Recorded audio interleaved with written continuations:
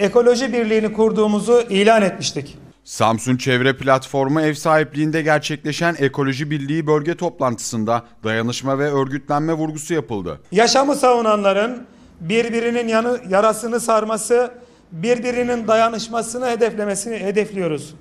Sadece mevcut ekoloji örgütlerinin bir araya gelmesini değil, temel olarak gittikçe gelişen ekolojik ve yerel hareketlerin birlikte mücadele zeminini yaratacağız.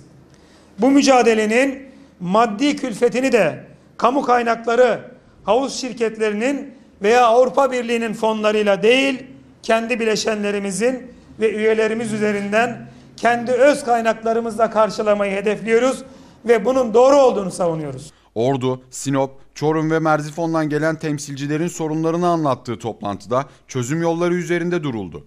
Ekoloji mücadelesinin parayla değil, kolektif emek, özveri ve dayanışmayla yürütülebileceğini biliyoruz. Hiçbir hukuk yaşam hakkından daha değerli değildir. Bugüne kadar açtığımız davaların pek çoğunu kazandık. Halen devam eden pek çok davamız var. Ancak hukukun nasıl ayaklar altına alındığını yıllarca süren emek ve masraflarla kazandığımız davaların fiilen ortadan kaldırıldığını defalarca gördük. Toplantının açılış konuşmasını gerçekleştiren Samçep dönem sözcüsü Mehmet Özdağ şunları söyledi. Türkiye tarihinin hiçbir döneminde bugünkü kadar büyük doğa tahribatıyla karşı karşıya kalmamıştır.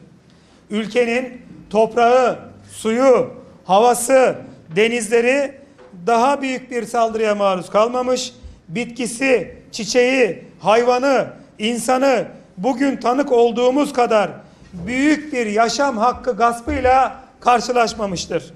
Haklı olduğumuzun ve hukuksuz talan örgütlenmesine karşı meşru müdafaa gücü olduğumuzun farkındayız ve güçlü olduğumuzu biliyoruz.